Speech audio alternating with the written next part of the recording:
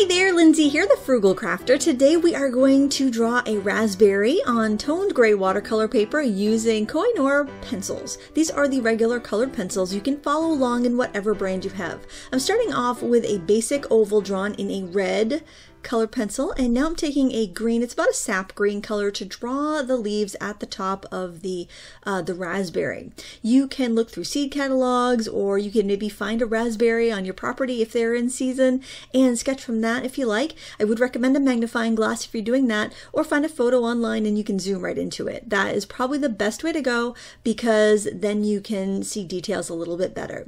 Now you're going to notice that the little sections of the fruit kind of go across across in um, in rows and columns and try to find a pattern to follow. You'll notice they're kind of um, uh, they're kind of roundish squares. Sometimes they have points and indents, uh, points on the top and indents on the bottom. You really just want to look and observe from your reference photo, zoom in, see the detail that you can see, and go from there. Now with a white pencil, I just went in and kind of um, almost pressed into the paper to save the highlights.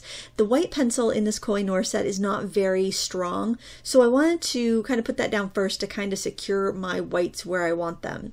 I decided to try this drawing when um, I picked up these pencils. They weren't very expensive. They were under $25 for a set of 24. And um, I thought they'd be kind of fun because I had a few viewers ask me about them. And um, ask if I would review them. And when I saw them in a local store, I decided to grab a set. I'm going in with this kind of Bordeaux burgundy color and I'm adding my shadows. After getting my, my whites in there, my highlights, I like to go in with my darkest value. I just find it's a little bit easier to do that. Now I'm not going in with black. Um, I usually will save that till a little bit later because I find that the blacks can be a little strong and um, you can't, it's hard to come back from black. So I go in with the burgundy and um, knowing that I can layer over black if I need to. Now something I would recommend with this pencil set, and I do have a full review on my YouTube channel if you want to check it out. Um, one thing I'd recommend is that you pick up a white and a black from Prismacolor because those softer pencils just really pack a punch and they're so opaque and so strong that they will layer over pretty much any other traditional wax or oil-based pencil brand. Now there's a little um, a little controversy whether these pencils are oil-based or wax-based. I think they've changed their formula.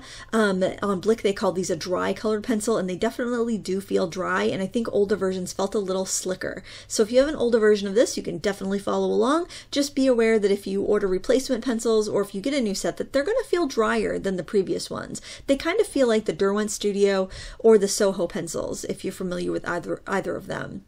Now um, I am layering up different greens. I went in with a kind of a dark hunter green to get some shadows. Um, I can go in there with black if I need to darken them more. Uh, I layered up some sap green for those kind of um, brighter uh, kind of fresher leaf colors and uh, basically just took my time and layered up color. I'm not pressing firmly here. Now I did speed this up quite a bit obviously, but I am using very little pressure and just very gentle coloring here.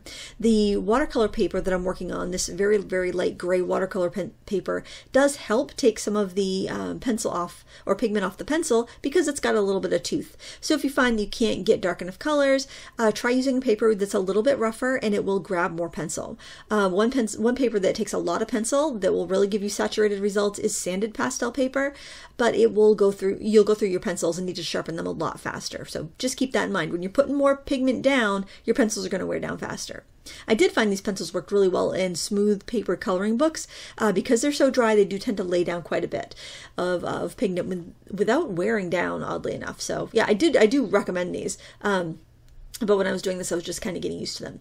So right now I'm going over with uh, kind of like this cherry red color, uh, just giving it a very light layer. So we've got the highlights that I kind of pressed into the paper. Then I went over with that yellow. And now I'm then I went over with the red, and now I'm distinct, uh, making my shadows a little more distinct with the purpley Bordeaux color. This kind of like a like a burgundy color here. Um, I didn't use that many colors actually in this drawing. I did max out the reds and uh, the greens, but other than that, I mean, I used a little bit of yellow. I find the yellow really livens up the fruit. It almost acts, uh, gives it like a glow. So you don't want to skimp out on the colors. Now I'm using the white to blend my colors together. So that's another technique that, um, that might be new to you if you're new to color pencil, and that's using your white or another pastel color that's related to the other colors you're using to blend. Now when I go over and I blend with this white, that white that I had underneath is going to show up a little bit more now because um, it's going to bring it out of the paper. It's going to kind of wipe off the stuff that was on top of it and let it shine. Now you want to be careful blending with white on your shadow areas because it's going to make it a little more difficult to build those shadows up again. Now you could be seeing a little bit of a glare. Um, I kind of went from working flat on my table to angling it up towards the end. So if you notice the colors get a lot brighter towards the end of the video, that's why. But also um, we're going to use some solvent and that helps things brighten up a little bit too. Now, I like to work a color pencil piece all at once. Um, I know that's not the normal practice for a lot of color pencil artists, but I don't consider myself a color pencil artist. I work in mixed media or in watercolor mainly, uh, sometimes oils. So I approach this a little bit more like I would approach a watercolor. So I get my all over coloring done and then I'll go in and detail each section. Um, I like to do that because it kind of brings the whole painting together at once. And that way I don't get bored after like doing one section and then be like oh I've got this whole other painting that I have to color now. Um, by kind of working it all at once it gets done all at once. So um, so that way you're not gonna kind of you know flake out at the beginning of the painting because you get frustrated with how long like one little section's taking because colored pencil does take a while. This drawing took me an hour. So just to give you a little perspective as you're watching this today so as I burnish, um, I am going in, we burnished once with a white, but now I'm going in and burnishing with color. And burnishing, all that means is you're coloring firmly so that you're filling the tooth of the paper. And it makes the colors richer, it makes them pop, it makes them um, appear more vibrant and more painterly, almost like a oil painting. Um, so if you see that, that word in a magazine or in an art, art instruction book or on the internet, you'll know what that means. So as I work um, around the edges, I'm going darker because then you would, the, the the, uh, the each little section there is kind of rounded, so it's going to be lighter in the center, kind of like a globe, and as the sides tuck back, it's going to be darker. So that's why I'm doing that. It's giving it a little bit of depth. And just keep in mind that we're getting some glare from the wax and the pencils. Now, um, there's another term that you, if you're new to colored pencil, you might not have heard before, or maybe you've heard, you don't know what it means, um, but it's called bloom, and it's um, it's the waxy haze that comes on top of colored pencils after you've burnished. Uh, so basically, what happens is you've laid down so much color of wax-based pencil that wax kind of um, builds up on the surface of your paper and gives this kind of hazy look. There's a couple ways you can get rid of that. You can gently wipe it with a soft rag or tissue. You can use a, a uh, solvent like I'm using here. You could use like alcohol or I prefer Gamsol, which is an odorless mineral spirits. And I put some in a marker here and uh, that's what I'm using. And what that does is it breaks down the wax and it removes any bloom. These pencils don't really have much of much bloom but if you use something like prismacolor which is my favorite colored pencil um, which is also not a common opinion amongst um, you know amongst professional colored pencil artists probably wouldn't use prismacolor but um, but i really like them eh, but they bloom like crazy so you definitely have to kind of contend with that when you're done. And another way to get rid of bloom is by spraying it with fixative. That does tend to break up the wax and um, and it goes away. But I, I, would tend to kind of wipe it gently with a soft cloth. Just be careful not to smudge it like into your background, smudge any pigments, and then um, then I would give it a spray if if I felt it needed it. Because sometimes when you wipe away the wax, it buffs it and it gets really shiny, and that's not really what you want either. So you can see that when I put this um, when I put my sketchbook up on, just raised it up on that little ashtray there, uh, it took, you could see the colors were much brighter. And now that pencil I just used was the aforementioned white Prismacolor colored pencil. I like it because I can add really bright highlights. And I had some leftover um, titanium white uh, from this company called Brush and Pencil. It makes this powder uh, white pigment and you can mix it with a, um, a thing called touch up texture, which is something you can add to your paintings if you need to color on top and your paper's not taking any more pigment. And you mix those two things together and you can add these really nice highlights and it just um, really makes the drawing come together. And I grabbed a Prismacolor black colored pencil to go in the nooks and crannies and and really get those dark shadows.